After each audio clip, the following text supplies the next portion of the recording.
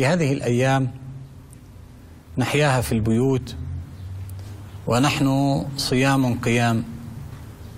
لابد لنا أن نوضح أهمية الوقت في حياة الأمم وفي حياة الإنسان. الحقيقة أننا درسنا أن الوقت من ذهب وهذا فهم خاطئ. الحقيقة أن الوقت هو الحياة. الذهب قد يعوض المال قد يعوض إذا خسر الإنسان. لكن الوقت الحقيقي هو عمر الإنسان. كلما مضى وقت من حياته مضى جزء منه لا يعود. لذلك اهتم الإسلام وأعطى مساحة واسعة للوقت. فأقسم الله عز وجل في صور عديدة بالوقت. فقال والضحى والليل إذا سجى وقال والعصر إن الإنسان لفي خسر وقال والفجر وليال عشر. إذا هذه الصور وبداياتها بالقسم دليل على أهمية الوقت في حياة الأمم وفي حياة الإنسان. والرسول عليه الصلاة والسلام يقول في حديث هام نعمتان مغبون فيهما كثير من الناس. مغبون يعني بنغش فيهم. الصحة والفراغ. يعني لما يكون صحته منيحة ما بدرك أنه يجب أن يكون بأعمال كثيرة. متى يشعر بذلك؟ عندما يمرض. بقول يا ريت سويت وعملت وكذلك الفراغ. في لحظات الفراغ بيبحث عن وقت يضيع فيه وقته. كيف بدي أضيع الساعة؟ يلا نتسامر ونضيع وقتنا. زهقانين. لكن في حياة الإنسان المسلم ما في إشي اسمه زهقان. في تغيير جو من عبادة إلى نزهة إلى شيء لكن كلها في طاعة الله عز وجل وفي تواصل مع طاعة الله. فبالتالي هذا الوقت يجب أن نستغله على أفضل شيء. لذلك الرسول صلى الله عليه وسلم قال إنه لما يموت الإنسان يسأل عن عمره ويسأل عن ماله ويسأل عن صحته ويسأل عن أمور كثيرة فيما فعل في هذه الأمور. هل استغلها في طاعة الله عز وجل أم كانت في معصية؟ الحقيقة إن استغلال الأوقات هناك استغلالين. استغلال زماني واستغلال مكاني. شو يعني زماني؟ الزمان الذي يدور مع الإنسان. يعني في أوقات تمر هذه الأوقات؟ هل أنا بستغلها؟ هل أنا حاطط لنفسي برنامج سواء كان سنوي برنامج خطة بعد ثلاث سنين برنامج وين أصل في حياتي سواء كان دراسة سواء كان استثمار سواء كان عبادة إلى آخره من الأمور. وفي استغلال مكاني. شو يعني استغلال للوقت مكاني؟ يعني المكان مثل المسجد الأقصى. إحنا صحيح محرومين الآن من المسجد الأقصى بسبب فيروس الاحتلال أزاله الله وفيروس كورونا أزاله الله أيضا.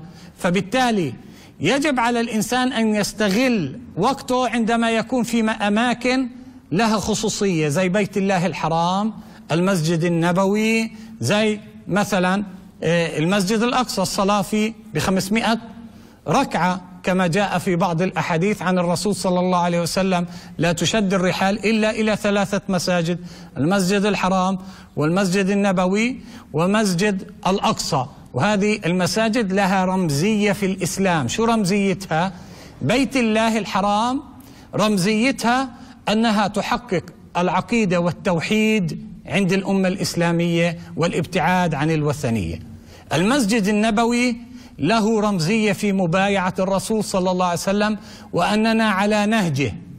الرمزية للمسجد الأقصى المكانية إذا أردت أن تنظر إلى حال المؤمنين منذ آدم عليه السلام إلى قيام الساعة في أن الإيمان في عزة أو في ضعف انظر إلى المسجد الأقصى. فإن كان محتلا فاعلم أن الأمة في حالة ضعف وهوان. وإذا كان محررا وترفع عليه رايات الدين ورايات فلسطين بإذن الله فبالتالي الأمة بخير. اذا هناك رمزية للزمان ورمزية للمكان، رمزية الزمان شهر رمضان. شهر رمضان الذي أنزل فيه القرآن. رمزية للزمان ليلة القدر خير من ألف شهر.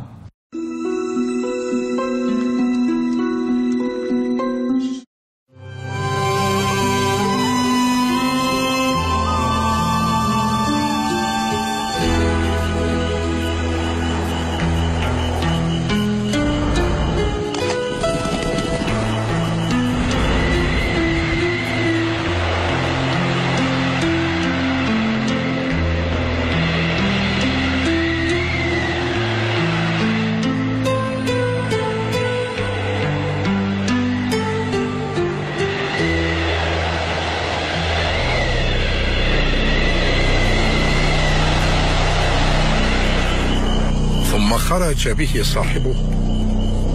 يرى الآيات فيما بين السماء والأرض حتى انتهى إلى بيت المقدس. فربط البراق في حلقة في باب المسجد.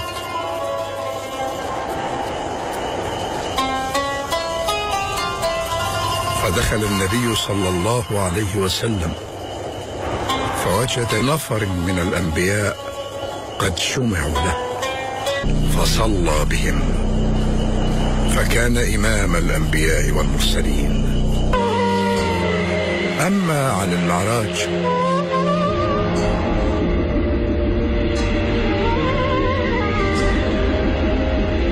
فقال صلى الله عليه وسلم دخلت السماء الدنيا فرأيت بها رجلا جالسا تعرض عليه أرواح بني آدم.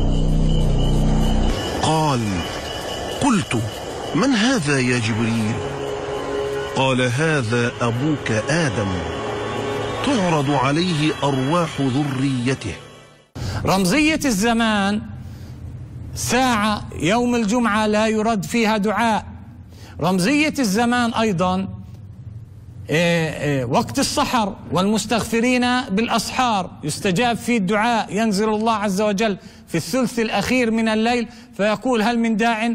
فأستجيب له. هل من مستغفر؟ فأغفر له.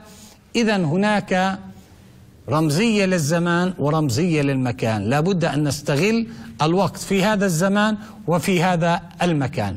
طب في الأوقات العادية في شهر رمضان إحنا محشورين في البيوت معظمنا والكل من يخرج إلى العمل.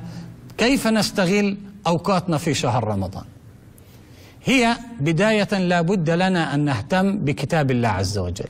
لأنه فضل شهر رمضان العظيم لنزول القرآن. إنا أنزلناه في ليلة مباركة. إذا هذه العظمة اللي إحنا بنتهيأ لشهر رمضان كلها جاءت لنزول القرآن الكريم في هذا اليوم. طب إحنا نهتم بالشهر اللي هو صار له قدر كبير لأنه نزل فيه القرآن ونترك الأساس اللي هو القرآن الكريم إذا لابد أن نخصص من أوقاتنا لكتاب الله عز وجل. كتاب الله قراءة كتاب الله حفظ إن استطعنا كتاب الله مدارسة كتاب الله والأهم منهج حياة في سلوكنا. ما بزبط أنا أقرأ. يا أيها الذين آمنوا اتقوا الله وكونوا مع الصادقين وأنا أروح أكذب أغش في بيعي أغش في عملي. أكذب على الناس. ردي إلي لبني هذا لبن شيب بماء أما علمت أن الغش حرام يعذب الله عليه لما أقرأ إن الله يأمر بالعدل والإحسان أن أعدل وأن أحسن إن الله يأمرنا إن الله يأمركم أن تؤدوا الأمانات إلى أهلها وإذا حكمتم بين الناس أن تحكموا بالعدل أؤدي الأمانات لأصحابها. إذا في البداية استغلال الوقت في قراءة القرآن الكريم استغلال الوقت في صلاة التراويح. من قام كما جاء في حديث صحيح من قام رمضان إيمانا واحتسابا غفر له ما تقدم من ذنبه. وقالوا قيام رمضان هي صلاة التراويح. أيضا أستغل وقتي في مساعدة المحتاجين. مش بس أهتم في الأنا أتفقد. أسر الأسرى أتفقد أسر الشهداء أتفقد آه، الفقراء أتفقد الأيتام. لأنه في الختام نقول لا خير في صلاتنا ولا في صيامنا ولا في قيامنا إن لم نمسح رأس اليتيم وإن لم نطعم مسكين وإن لم تتغير سلوكياتنا من خلال صيامنا وقراءتنا للقرآن الكريم. إذا فلنستغل أوقات شهر رمضان المبارك في الطاعات والإقبال على الله عز وجل وأن نكثر من الدعاء في أن يحرر الله عز وجل أسرانا وأن يحمي أقصانا وأن يرفع عنا هذا الوباء والبلاء بإذن الله. والسلام عليكم ورحمة الله وبركاته.